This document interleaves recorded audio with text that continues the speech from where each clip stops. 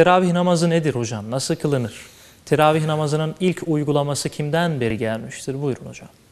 Evet teravih namazı aslında Resulullah Aleyhisselam tarafından 2-3 gün kılınmış bir namazdır. İsmi teravih değil ama.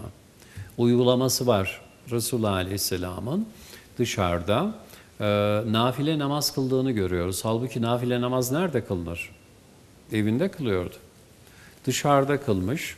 Sahabe-i kiramdan kendisine uyanlar olmuş. Nafile namazda uyuluyor. Bakınız farklı bir namaz olduğu anlaşılıyor. İki gün böyle devam. Üç ve dördüncü gün Resulullah Aleyhisselam e, dışarı çıkmıyor. Herkes toplanmış. Peygamberimizin arkasında namaz kılacaklar. E, mescit e, şahısları alamaz olmuş. Resulullah Aleyhisselam dördüncü gün geliyor. Ahaliye diyor ki, yani biliyorum niçin toplandığınızı ancak benim niçin aranıza çıkmadığımı biliyor musunuz? diyor ve gerekçesini anlatıyor. Diyor ki e, aslında hoşunuza giden bir namaz.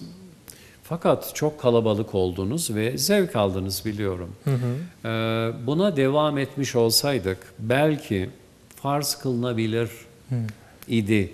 Zor ondan gelir, sakındım, ondan çekindim diye. ve aranıza çıkmadım diyor. Bunda da zorlanırdınız demiş.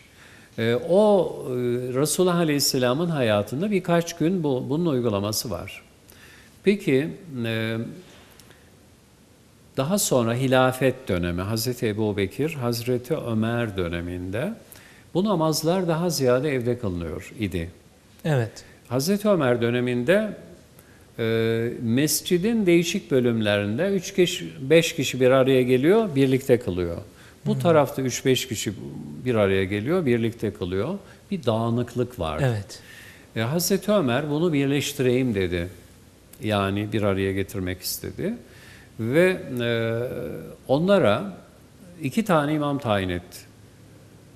Bir kadınlar için bir daha e, erkekler hmm. için. Onlar e, imamlık yaptılar ve sahabe-i kiram o imamların arkasında namaz kılmaya başladılar. Evet. Hazreti Ömer döneminde bu uygulama başladı. Hazreti Osman'la birlikte zaten yaygınlaştı. Yaygınlaştı. Günümüzdeki ve, halini işte kesin hal Hazreti Ömer'in uygulamasıyla başladı. Kaç rekat kılındığına dair değişik rivayetler olmakla birlikte 20 rekat olduğu rivayeti e, söz konusu ediliyor. Ama net uygulama Hazreti Osman döneminde 20 rekat olarak bizim kıldığımız şekliyle kılınmış. Ama ikişer rekatta selam verilmiştir. Teşekkür ederiz hocam. Allah razı olsun.